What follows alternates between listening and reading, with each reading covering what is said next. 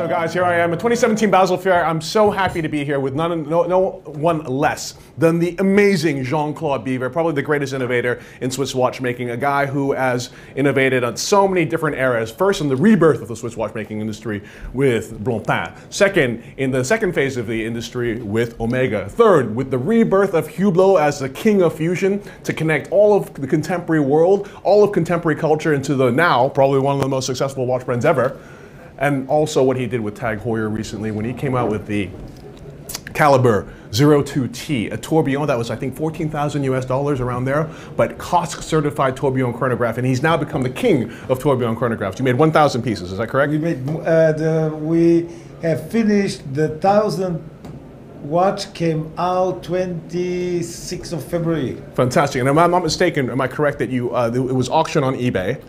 So we said, what do we do? Yes. Thousand. Yes. I mean, this is a huge number. And when you think that we presented it last year, Basel, Yes. in less than one year, Yes. we produced thousands. Incredible. And it was the thousand were the, f- the first time Yes. because never you had a chronograph, tourbillon, automatic chronometer Oh, yes. certificate. Yes.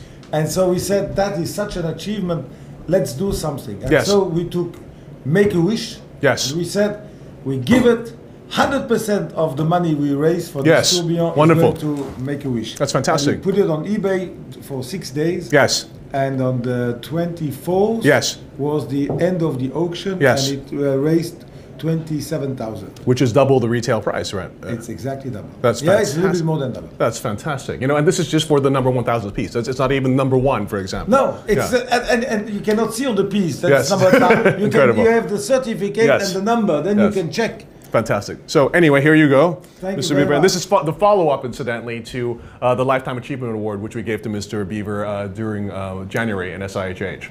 And uh, It- It's time for me to retire. no, no, no, no, no, no, no, no, no, no, no, because okay, then we when you get uh, awards, Yeah. normally it's at the end of your life. No, no, no, and you can't. But also because we are just starting a new adventure, which is Zenith.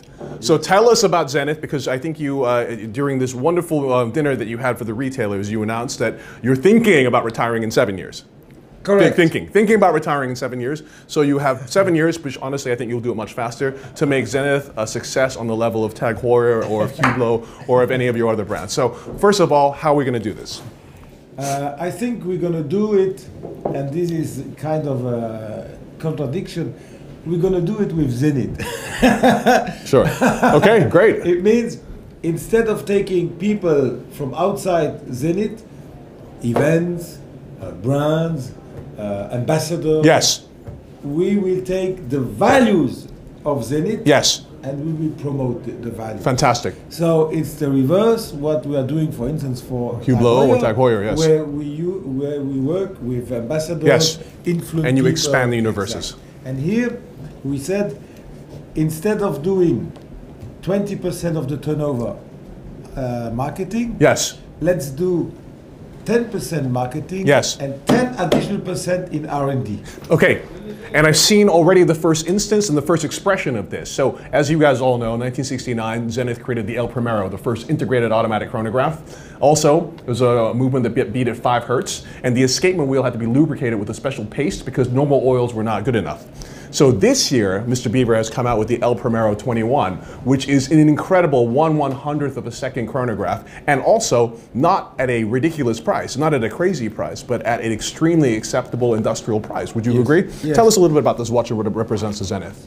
So, uh, uh, number one, it's the first time that Zenith uh, gets out of the Zenith prison. Yes. Zenith has been a prisoner of El Primero 69. Yes. 1969. Yes. They never dared changing it or doing something else. and Yes. they always said, legends are forever. Yes, but if the legendary Porsche, in which that uh, what was the name of the actor who died? James Dean. James Dean Yes. this Porsche has been changed, although basically it's Absolutely. the same. So you have to do facelifts regularly. Yes. If not, your tradition will disconnect from Of course. the future. Of course. And when the tradition disconnect from the future, then you are you are in a museum. Absolutely. In the museum, you can visit what has been, but Zenith must not have been, then it must be. Yes. And this is what I did. And uh, how did we do it? So we said the El Primero 20th century must be re- we must think it again with the eyes, Yes. with the technique, with the tools, with the technology, and with the people of the 21st century. Yes. So we cannot be happy with uh, uh, 5 hertz. Yes. We must have 500 hertz. Yes. We must chron- we must have a watch that goes on the one tenth of a second, but as soon as you do the chronometer, Yes. the chronograph, it must be one, One one hundredth of a second. Incredible. And then we said the uh, we will have two uh, uh, hairspring, two oscillators, and we said the, we have to introduce in the oscillator a new material for the hairspring. This is incredible. And This is incredible. New material is the nanotube carbon. Incredible. Which is 100% anti-magnetic. Incredible. Which is 100% anti-thermic. Yes. So in that, And you are even bringing the machines to build these hairsprings in-house at Yes, Zenith as well. exactly. Carbon fiber nanotubes, which are uh, deep reactive ion etched to, into hairsprings. This is the first use of this ever, and it's a demonstration of what Mr. Biver wants to do with Zenith for the future to make it the, the masters of new technology Yes. and bring that technology into the watches. right? exactly. And, and this has, is already working now because uh, it's the second day of the fair. We presented it uh, on, on uh, Wednesday and the success is already there. People Yes. are excited and people are buying. Yes. People are buying it. Yes. So we feel Zenith will uh, have a rebirth, but from itself. Fantastic. Not through others. Yes. You know what I mean? Yes. Ah, Fantastic. see. No, it's incredible. We videoed this earlier. It's, it's, a, it's a great it's a great watch. And it's a great shape. Ah, it is stunning as well. And I love that you brought back the Defy as well, or Defi as they say. The, the, the name, yes. Yes, which I love as well. Which incidentally is, is, is a historic watch from the collection. It has some of the most iconic watches from Zenith were Defy watches from the 60s, for example. Exactly. It's absolutely marvelous. Okay, now let's talk a little bit about something else. When I interviewed you in my house last time, we had a conversation about smartwatches. And I, I love the fact that it was connected to eternity because it meant that you, you know, because a lot of people were, why should I buy a luxury smartwatch? Well, Mr. Biver's idea is like, well, we'll make it modular. So as soon as the electronics become uh, defunct, you can remove it and put a modular movement inside of it, and then you can have a mechanical watch. But this year you took it one step further. You decided to say, you know what, let's bring the modularity into the watch now so people can have the benefit of the electronics, but then they can have a time only watch if they want, and then they can even have a tourbillon if they want as well. Tell me about this because it's absolutely marvelous. Yeah, it's it's you know um, I have always been um, a little bit worried with the connected watch. Why? Because we I have been saying during 42 years we are the artisans or we are the artists of the eternity. Yes. We are the creators of eternity on the wrist. Yes. Boom. And then with the connected watch, I said to myself, God damn, it's not true. the connected watch will become obsolete. Yes. So thanks God, nobody said to me, "Hey Biver, during 42 years you were preaching eternity. Yes. How can you something that's obsolete?" thanks God, nobody said anything. But I went on thinking. Right, right. One day somebody will come and tell me, Yes. Hey, Yeah. what have you been And saying?" And you need to have a response for this. knew exactly. Yeah. Yes. So I was searching, searching, and finally, Hublot has the interchangeable bracelet. yes. And the interchangeable bracelet, I said to Guy Semon, our, our boss of R&D, Yes. I said, you know, Guy, if Hublot has the interchangeable bracelet, Yes. if we would have a module here and we could uh, change Yes. the bracelet, Yes. you know, Take the lugs off. take Yeah. the lugs off. Yes. And Guy said, okay, let's start. Let's do it. Let's do it. That's and fantastic. He found it. And Amazing. he- yeah, amazing. Yeah, it's, it's just amazing. Yeah. Uh, it's, voilà, it's, And I love it. it's so easy to do. intuitive to use. You know, you don't need a PhD. No, You know? you don't need a PhD. You Exactly. not- uh, You know, it's fantastic. You see, and now Nick Fultz is calling me. Ah, let's answer him. Let's see what I. it's okay. It's So. You see, it's Nick, how are you? I love it. So um, when we buy, when now when you buy the connected one, yes. you buy the future, Yes. But you can also buy the tradition. Of course. And then that means you will buy the module modular that is mechanical. Yes. Chronograph, Yes. three hands, Yes. tourbillon. Yes. And you can then interchange by yourself. Tonight I go to the to the opera. Yes. I don't want the connected watch to disturb me. I Ah. don't want to. Uh, and I put the Tourbillon. Fantastic. That's absolutely wonderful. It's, it's, it's phenomenal. What I also I like the rationale uh, for you to create this connected watch because I know it was very important for you to connect to the next generation and to have that interactivity with people who may not even be interested in a watch yet, but maybe purchasing this as their first sort of luxury item because of the the, the interactivity with with the, the you know the smart function. But tell me about also one thing that you did, which I thought was really interesting, which was to create a dialogue with actual collectors related to the Autavia. Because I love the fact that you said, okay, um, we're going to release it, but why don't you choose? Why don't you, the collecting public, choose what you want to see in your ultimate version of the Autavia? And that was the idea. The idea was if we do a re-edition, Right. we should, as we are not the specialists of the classic watches, Yes. collectors and normal consumer who buy modern watches, sometimes they don't have the same opinion, they Yes. don't have the same eyes, and they don't buy the same product. Yes. So we said, why, when if we do a re-edition, let's make sure it's the right one. Yes. Because there have been t- uh, 20 or 30 different dials in Autavia in the in the 10 years where Mm-hmm. Autavia uh, was sold between 60 and 70. Yes. And should we look which dial with our eyes of Yes. today, or should we ask collectors? Yes. And we said that's a collector's watch, so we're gonna ask collectors. How do we ask collectors? We went on internet and we said everybody can give us the input. Wonderful. We got 50,000 input. Wonderful. 50,000 people told us which dial to use. Yes. Which hands to use. Yes. Which bezel to use. Yes. use. Which indexes to use. That's incredible. And we decide, and then we, we, we, uh, we, just made uh, like a votation, which is the watch that has the most votes. And there was one, and then there was the second one Incredible. that had a little bit less, maybe 100 uh, votes less. Yes. And we started again a second round with those two. That's to ama- be sure, just to be sure, You know, yes. because 100. Yes, Uh, yes. And the one that has been chosen was the one that has the victory. That is incredible. Watch that had the most. um, It's so extraordinary for a luxury brand that is, you know, such an iconic brand to also be so receptive to ideas from its actual customers. You know, I just love this. the, you know, we have two things to take care. Yes. We have a king. The king is my customer. Yes. And then we have a queen. The queen is my product. Yes. Now, I must make sure that the king meets my queen. Yes.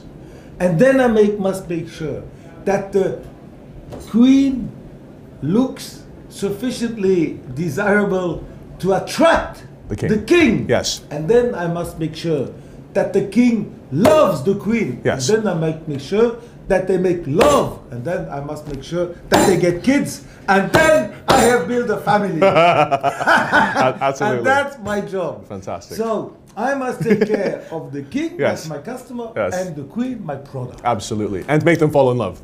Exactly. And they can only do that if they speak the same language, that they're in the same places, Yes. that they understand, they have the same values, they have the same Yeah, uh, exactly. cultural aesthetics, you know? Yeah, exactly. Fantastic.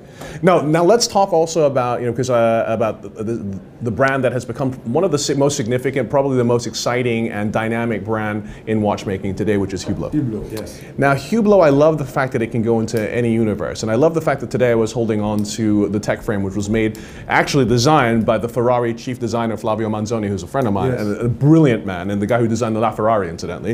And then at the same time, you have a watch that has, is using Berluti's uh, traditional Scritto um, on the dial and on, on, on the bracelet as well, because you have the most important car brand in the world collaborating with Hublot, and you've got the most iconic shoe brand co- collaborating with Hublot. And I love the fact that this brand can go into any place. It can, it can merge seamlessly with anything interesting in culture. And it means nothing else that we are following our customer. Yes. Because each customer who drives a Ferrari has also more or less a pair of, of uh, Berluti. Yeah, true. Yes, absolutely. It belongs to the same lifestyle. You're absolutely right. And when it belongs to the same lifestyle, it belongs to Hublot because we follow our customer. Yes. And if our a customer uh, spends twenty-five thousand dollar for a bike, yes. we must then be in cycling. Yes. Which means we are just following the customer. Yes. Wherever our king goes, we must bring the queen Yes. so that he can meet the queen. Yes. And the more he meet the queen, the more he will start to understand the queen, the more he might find that the queen has a lot of substance, that the queen has a lot of heart, that the queen could be the perfect mother. Yes. And one day you're gonna marry. Of course. And of then course. we have done it. Fantastic. That is the strategy. And this is what I explain to kids when I go to a little school. Yes. Uh, the, the, the older children tell me, oh, you have a nice job. yeah, it's because it's about creating love. Yes. Yes. Now, one of the things, and I love the fact that you're giving messages and teaching some uh, lessons to, to the next generation. But one, you know, I was at dinner at your house, I think, very recently, two weeks ago, and you you taught me something really remarkable and something about how you had a conversation with the president of Switzerland at the time, uh, Mr. Delamuraz, Delamuraz.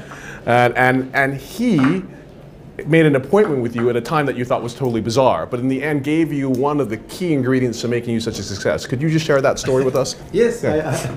I, I, uh, so I was asking for um, subsidize, you know, uh, Yes. because we had uh, nine watchmakers, and in those days, if you had uh, more than five watchmakers, you could get a subvention because you were helping the watchmakers to find again a job. Yes. So he gave me an appointment at five. Yes. And five for me means uh, five o'clock in the, Five- in the afternoon. 5 p.m., yes. Five p.m. Especially a meeting with uh, The president of- of the country. Um, and then my secretary said, "No, no, no, Mr. Biver, the day before, don't forget tomorrow morning five. I said, "What tomorrow morning?" She said, "Yes." I said, "Are you sure?" She said, "Yes." I called, and they said it's five o'clock. I went there at five o'clock. Uh, 5 I- I- a.m.. I- I- 5 a.m. I Yes. followed the instructions, you know, to enter the building, and I arrived in his office. And when uh, before I could sit, he said to me, "Do you know why you're here at 5? I said, uh, "Yes, uh, Mr. President. I know. I'm coming for the subvention." He said, "If you would come for the subvention, that then it would not be necessary to come at five o'clock in the morning." Yes. And I said, "Yeah, but you asked me to be here at five. Okay, I'm gonna explain you why. Imagine you work only 300 days per year. That's all you work. You, the rest of the days you do nothing. Okay. You take off. So 300 days. Imagine you work two hours more than your competition during those 300 days. That's 600 hours. Imagine your competition works 40 hours a week. So 600 hours divided by 40 per week, that's 15 weeks. And 15 weeks with a small, uh, short February, that's four months. So two hour more during only 300 days, not the whole day, uh, year, will give you four months ahead of competition. That's why you are here at five o'clock because from now on you will never be in your manufacture after five. Bye bye, subvention give you. Incredible. Seven minutes after five, I was back in my car. In those days, I had a little uh, Volkswagen GTI, Yes. white, and I was in the car. I said, "What do I do now? It's five o'clock. Uh, no, it's seven minutes past five. I don't go home. My, my wife will shout because ah, you wake me up two times. You woke me up, at four o'clock, and now you wake me up again. What is happening with you?" I cannot go to the to the restaurant. They are all closed except in the railway station. But the p- people have drunk too much. I don't want to mix with these drunken people. I go to the factory, and it was the first time in my life that I went to my own factory at five o'clock. Incredible. And since then, I have never stopped going at five to the job. And would you say this has given you one of the critical advantages over your competition?